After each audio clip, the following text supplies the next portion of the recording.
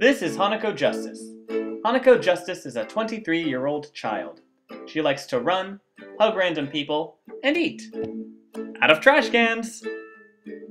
She has a knack of making a fool of herself, but has a desire to be bigger and better.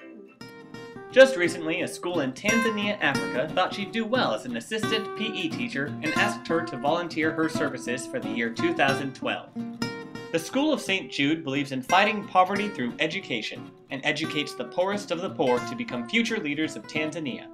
Each child is sponsored and receives a free education with life changing resources such as computers, music, a library, and guaranteed food and transportation. Her role there will be helping the head coach instruct high school students with sports such as soccer, football, lacrosse, tennis, croquet, and ribbon dancing.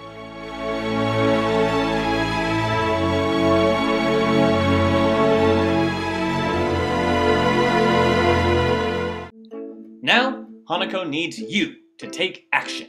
Hanako's goal is to raise $6,000. This amount, while she volunteers in Africa, will go towards her student loans, also known as Help Hanako Help Africa, also known as Why Can't Banks Defer Her Loans for a Year While She Does Awesome Stuff Abroad?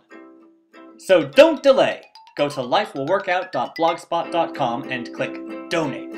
That's lifewillworkout.blogspot.com because life has a way of working out when you're super determined. Fees and restrictions do not apply. Donations are highly suggested. Side effects include elation, bragging rights, feelings of selflessness, and loss of bladder control. See blog for details.